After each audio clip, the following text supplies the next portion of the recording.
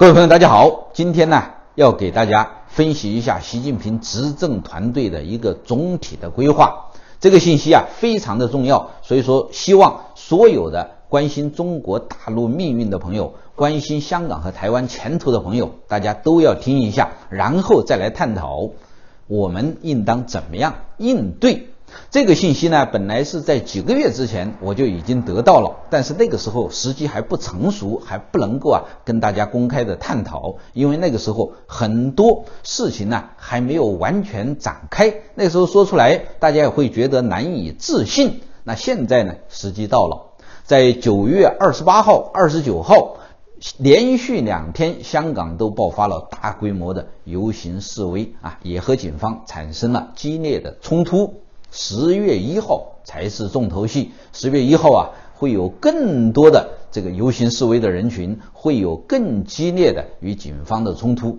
现在香港的局势啊，基本上已经明了了，就是啊，靠香港政府的力量，靠香港警队的力量，已经完全没有办法。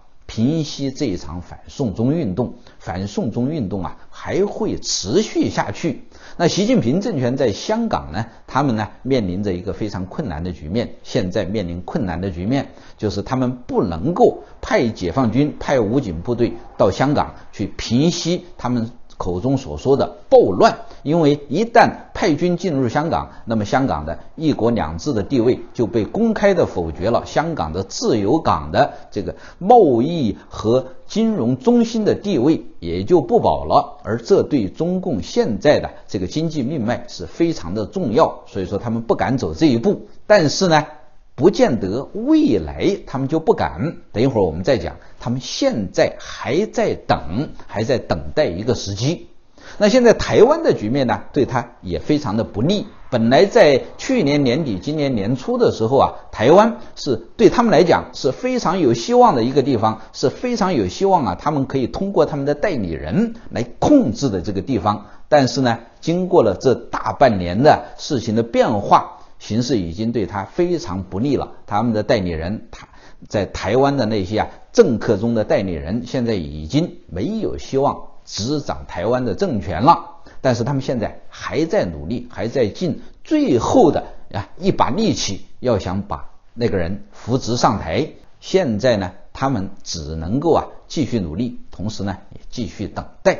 那对他们更不利的是贸易战，美中贸易战。现在习近平呢，既不能够投降，也不能够啊公开的跟美国决裂。投降呢，就是说答应川普所提出来的贸易谈判的那些所有的条款。一旦投降了，那么第一个他是在党内的地位就不保了，他就变成了真正的投降派，党内各个派系啊就可以公开的群起而攻之，把他拉下马。政权不保，所以不能投降。同时呢，他投降了，即使是党内派系不把他拉下马，他的经济啊，现在也马上很快就会崩溃。不仅仅是经济崩溃，而且呢，他会丧失。对于中国社会的、对于中国经济的控制权丧失了之后，他就丧失了对于中国社会、对于中国老百姓的控制权，所以这是他不敢走的。但是他又不能够公开的和美国决裂，和美国决裂，那美国马上就跟他呀脱钩，斩断和中共之间的贸易联系，那么他的经济也会瞬间的就会崩溃。经济崩溃了之后，民变很快就会发生，所以这也是他不愿意做的。但是呢，他现在在这三方面都在等待，不等于啊，不等于他就是无所作为，他绝对不是消极的等待，而是啊，在等待的过程当中，积极的创造一个条件，创造一个实施他未来的总体规划的这样的一个条件。我在几个月之前呢，和中共的一位啊，这个高层的特使和他们也是他们的一个高级的智囊，曾经探讨过这个问题，曾经呢长时间的严肃的交换过在这一方面的意见，他也是完全同意，说习近平团队现在呀有一个总体的规划，这个总体的规划呢可以用六个字，六个字啊来概括：安内攘外。军管啊，攘外必先安内。现在呢，香港、台湾以及美国，这都是属于他政权的这个外围的事务。他政权的根基啊是在中国大陆，所以说他必须得先把他政权对于中国大陆的控制先暂时的稳固下来，然后呢才能够来处理这些外围的事物，才能用雷霆手段处理这些外围事务。攘外必先安内，不仅仅是蒋介石说的，所有的执政者他们实际上啊都是。必须得遵循的这样的一个统治的原则。那怎么样安内呢？首先，他就要完全的啊掌控情报系统。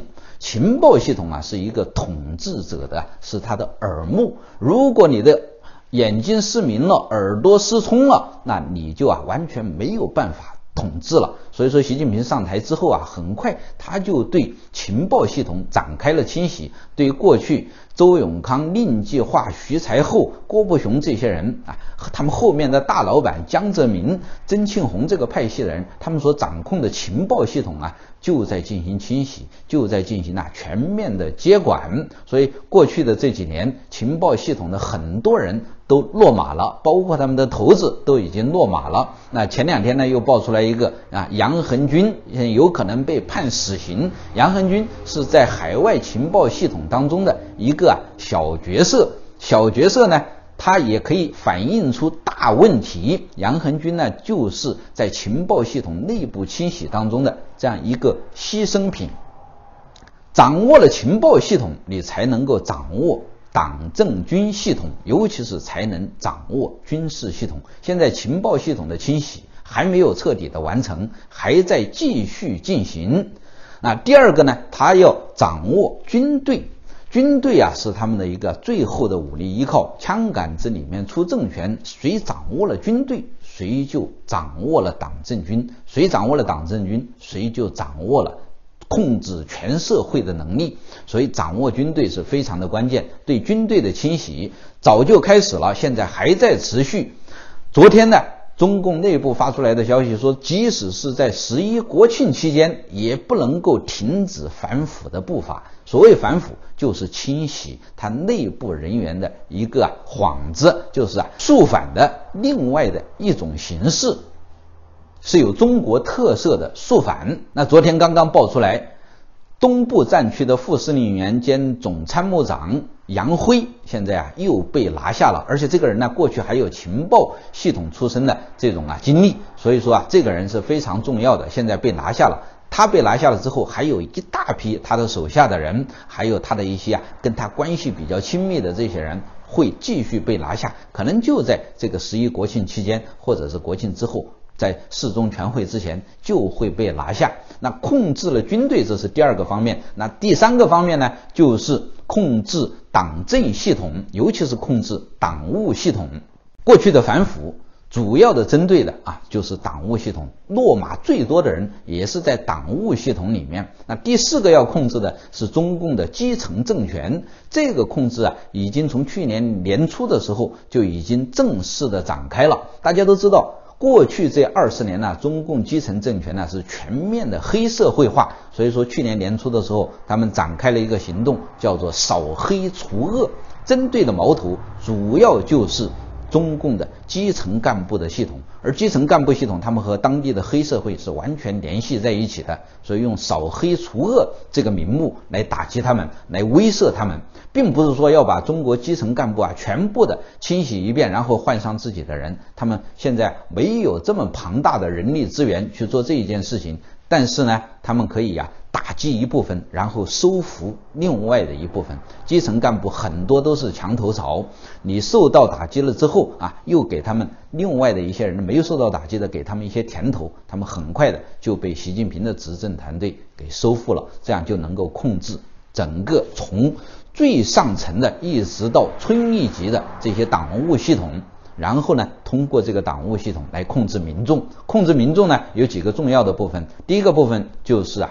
私营企业主，那这些企业现在呀，我们都已经看见了，习近平在逐步的在抓紧对他们的控制。现在公私合营二点零版已经开始了。首先呢，他要控制的那些是名义上是私营企业，实际上啊已经是啊和权贵资本结合在一起的那些超级大企业，像阿里巴巴啊，像腾讯、像联想这样的一些啊企业，先把他们收服了。收服他们呢，不仅仅是在控制民营企业，而且呢也是在控制权贵资本，把他们纳入习近平的掌控之中。那另外一部分，还有一部分小的那些私营企业，那些真正的私营企业，下一步也会紧接着会对他们动手，因为这些人呢，他们在地方上有一定的影响。不把他们控制住，他们和地方上的官僚大家结合起来，甚至是和地方上的民众结合起来，这对习近平来讲，这是不能够容忍的。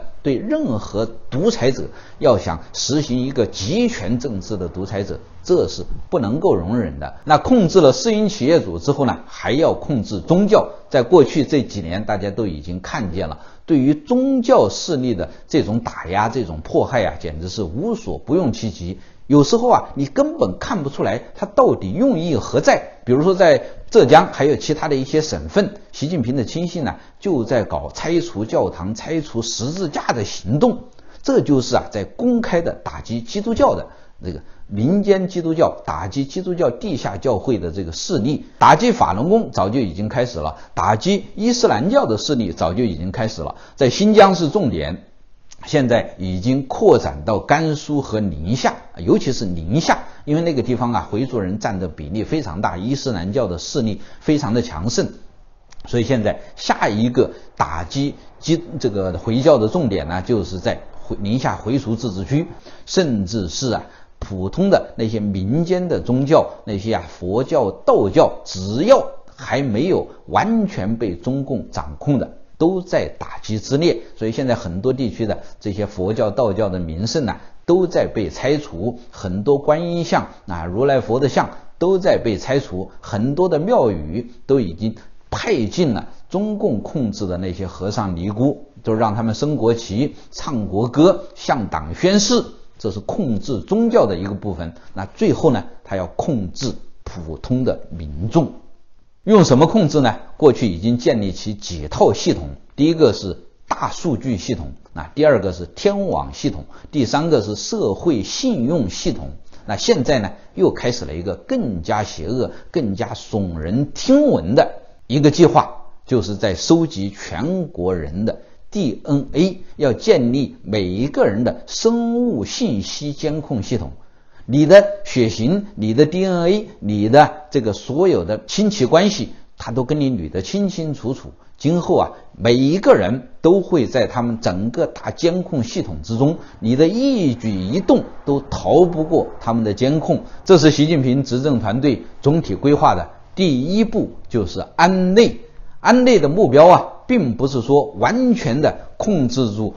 情报系统控制住啊，军队控制住啊，各个党内的派系啊，控制住民间企业，控制住各个阶层、各个民众。那这个目标完全控制这个目标，在第一阶段它是达不成的。所谓安内啊，实际上就是让这些情报系统、军队、党务系统以及各个地区、各个阶层的那那些民众啊，让他们没有能力向习近平集团发起攻势。只要他们不能够发起政治上的、军事上的、经济上的这种攻势啊，或者是社会运动方面的攻势，那么习近平团队呢，他们就安全了，他们就有可能，他们就有能力实行第二步。第二步就是攘外，攘外呢就要从美国开始。现在贸易战不是打得不可开交嘛？这么打下去，美国迟早会对中共进行严厉的经济制裁，最后导致美国和中国的经济脱钩。那还有另外一种可能，就是中共主动的。结束和美国的贸易谈判，然后在国内啊展开大规模的宣传攻势，告诉十四亿人民说美帝国主义要对我们进行经济侵略。那然后呢，他们还要对我们呢进行外交上、政治上以至于军事上的围堵和进攻。所以我们呢要在全国掀起一个反美的新的浪潮。这个浪潮一掀起来，那么就把。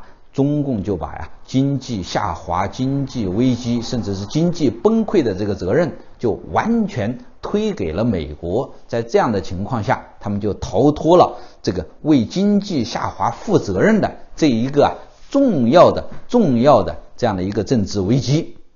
那么第二步，他会啊攻台，进攻台湾。攻台用两种攻法，如果是台湾的。下一届总统是一个投共的中共扶植起来的台湾的政客的话，那么攻台就有可能呢是解放军直接长驱直入进攻台湾的本岛。只要那个台湾的未来的三军统帅呀，他有十分钟不履行责任，或者是他说他把台湾的防空系统完全暴露给中共的这个火箭部队、中共的空军。那么台湾呢，就成为了一个实际上的不设防的一个岛屿。那台湾这艘不成的航空母舰就暴露在中共密集的这个弹药的打击之下。所以说，台湾是相当相当的危险。如果是选错了这个总统，那非常非常的危险。如果是台湾的总统继续是民进党的啊蔡英文，或者是其他的这个绿营的人，那么。中共就没有可能 直接进攻台湾的本土，因为台湾本土防御的力量太强了，和美国的军事联系太强了，所以根本没有办法在进攻台湾本土的这场战役当中啊打赢。与其打不赢呢，他们就不如不打。但是呢，他们还会攻台，攻哪一部分呢？攻金门和马祖，造成一种两岸进入战争状态的这样的一种局面。进入战争状态局面有个什么好处呢？就是可以宣布实行军管，这个等一会儿我们下一步再说。在攻台的同时，他们还会派解放军、派武警部队大规模的进驻香港，全面的接管香港。按照香港现在的这个局势发展下去，对中共肯定是不利的。中共也是绝对不能够继续忍受的，他们不能够忍受香港成为一个民主运动的堡垒，更不能够、更害怕香港成为一个未来的。动员中国的这样的一个反共基地，所以说啊，他一定要平息香港。那现在时机不成熟，等到他先安内了，然后呢又开始攘外了，那个时候啊，他就可以派军进驻香港了。那个时候跟美国贸易联系切断之后，他的这个经济已经难以为继了。那个时候他就不管香港的经济地位了。既然已经不管香港的经济地位了，那么他就要对香港彻底的实行呢军事管制。所以说，第三步，第三步啊，就是实行军管啊。这个军管不仅仅是对香港，实际上是对整个国家，对他们所能够控制的所有的地区、所有的人民，要来实行军管。那什么是军管呢？我就来给大家解释一下。军管呢，就是通过军事力量来实现对于整个社会的控制。那这个控制啊，是分层级的。那首先呢，是这个。最高独裁者和他的统治班子、统治集团呢，完全控制军队。控制了军队之后，就通过军队来控制党政系统。控制了党政系统，就用党政系统啊来控制各个阶层、各个地区的民众。这就是军管。那还有很多具体的措施，比如说在经济方面。他要对于民众啊实行完全的经济上的控制。那按照现在的这种啊混合所有制，那还有很多老百姓有这个自己的生产资料，有自己私有企业，那他是不能够完全控制整个社会的经济的。还有一部分的市场经济的成分，在这种时候它是不能够控制整个社会经济的，它所以它一定要实行呢经济制度上的倒退，向文革方向、向朝鲜方向的倒退。所以大家现在看见了这个公私合营，这就是其中的一部分啊。过去这几年一直在持续的国进民退，这就是整个计划的一部分啊。今后还会继续加速啊，而且呢还会发展到啊，要没收所有的这些私营企业的企业主的没收他们的财产，要没收所有的这些权贵资本啊，要没收啊所有的这些普通公民的中产阶级的多余的生活资料，然后呢让大家完全依赖在经济上完全依赖这个政权，那么他就能够控制你。那现在。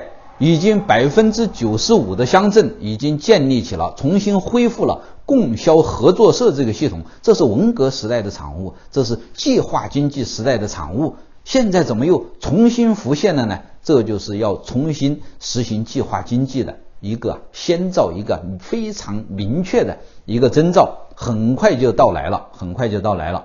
那大家可能也已经注意到了，过去这两年呢，中共一直是顶着贸易战的压力，一直顶着经济下滑的压力啊，还在从世界各地大肆的进口石油啊、原原材料、矿产这些战略储备物资，为什么呢？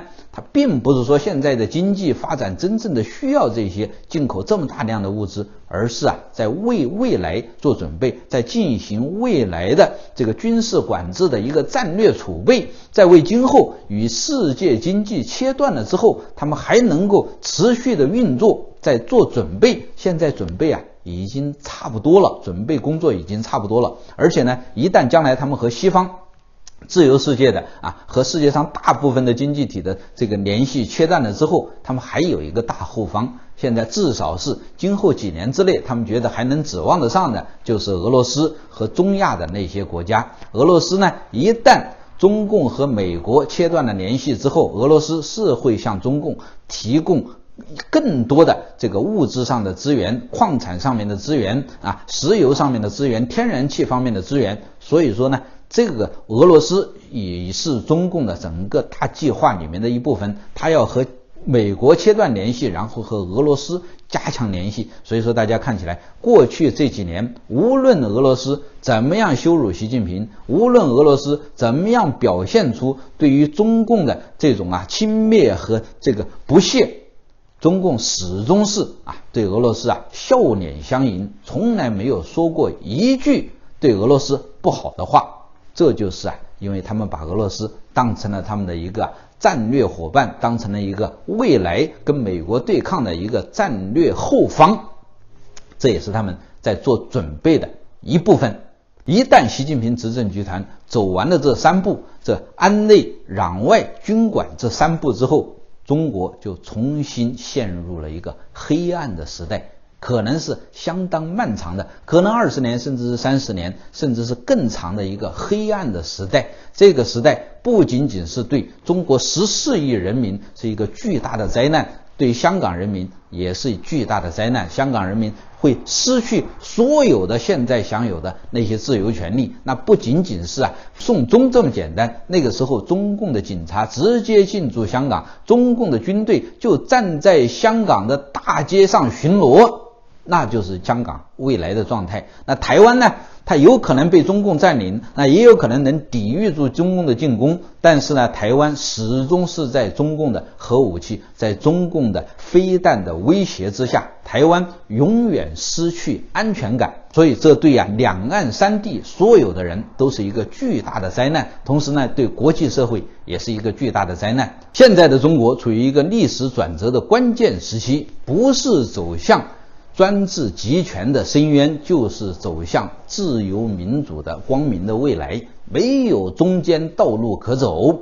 那现在我们面对着习近平统治集团的这么邪恶的一个未来总体规划，我们应当怎么办？应当怎么样抵御他们的这些邪恶的步骤？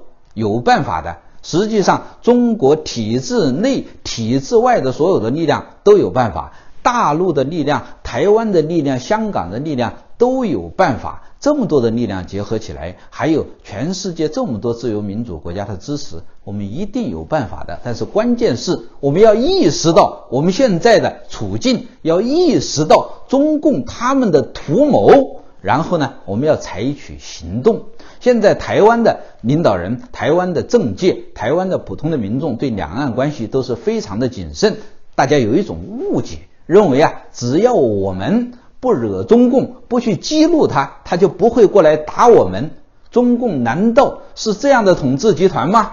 他们是难道是防御性的吗？不是，从历史上大家都看得出来，中共是一个有进攻性的、有侵略性的一个统治集团。习近平已经三番五次的说过了。统一台湾是有时间表的，不能够无限的拖下去。现在这个时间表已经呢非常非常的接近了。无论台湾的领导人、台湾的政界、台湾的民众是否激怒中共，他们都会向台湾发起进攻。他们一旦准备好了，一旦安内了，他们就必须会攘外。所以说，大家一定要放弃这个幻想。放弃了幻想之后，就要采取行动。怎么样采取行动呢？中共现在最大的弱点就是在他的国内，就是在他呀老百姓对于这个政权极度的不满，就是在政权内部四分五裂，政权内部的很多的派系，包括军方里面的很多人都对习近平统治集团不满。台湾完全有能力来触动大陆内部的。政变、兵变和民变，即使是政府、政党不好出面，台湾有这么雄厚的民间力量，有这么多的公民社会，呃，有这么多的海外的侨团，通过这些力量，通过互联网，通过各种各样的政经关系来触动大陆，推动大陆的变革，一定会成功。那香港人和台湾人也同样有这样的一种啊。对中共的误解，认为啊，只要我们井水不犯河水，那么中共就不会派兵打过来。还认为啊，中共会碍于香港的现在的这个国际地位啊，会对香港手下留情。不会的，现在暂时还会，但是呢，一旦中共切断了和美国的联系，一旦中共经济崩溃，那个时候他们都会对香港进行铁腕统治，进行无情的践踏。香港民众和台湾人一样。也有一种心态，就是希望啊和中国大陆摆脱联系，但是这只是一厢情愿的想法。不管大家愿意怎么样，现在事实是香港已经成为中国的一部分，已经成为中共统治下的一部分。不推翻中共，不结束中共的专制，香港的民主就遥遥无期，香港人的自由就时时刻刻受到的威胁。过去二十二年的这个历史，难道还让大家看不清楚未来的方向吗？所以说，香港现在只有一条路，就是和大陆老百姓一起，和大陆的各种反习的力量一起，大家一起结合起来。推动大陆的民变、政变和兵变，推动大陆的颜色革命，把香港现在进行的革命，把它散布到火种，散布到大陆去，香港才能够自由。大陆自由了，香港才能够自由。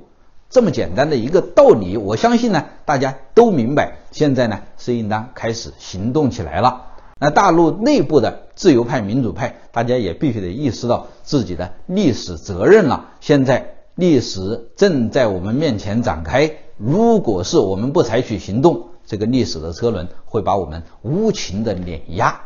现在习近平政权要加强对全社会的控制，最最重点控制的那一部分人啊，除了新疆的、西藏的这些少数民族啊，还有法轮功、基督教这些宗教团体之外，最重点打击的一部分人就是自由民主派的这些人士。打击了这一部分人，他们才能够啊高枕无忧。所以大家的命运现在呀都是非常非常的危急。那现在呢，我们又不能够直接的向全社会啊提出我们的政治诉求，提出来没有用，提出来在现阶段得不到大众的支持，因为大众现在还处于恐惧之中。但是呢，现在各地都有很多很多的。各种维权团体，他们因为利益受到了侵犯而对政权不满，对于现状不满，他们愿意走上街头来进行抗争。而这一部分人呢，人数极多，规模极其庞大。只要把这些人联系起来了，最后我们这个民运阵营的，我们这个自由民主派的，在全国是有一个互相联系的网络的。大家把这些力量通过这个网络串联起来。找到一个适当的时机和香港同步的发生共振，那个时候我们就会产生强大的力量。党内的党内的那些啊反习派，党内的那些啊各种不同的派系，你只要不是习近平的亲信集团里面的一份子，那么你们就是打击的对象。很快，铡刀就要落到你们的头上。大家不要有任何的幻想。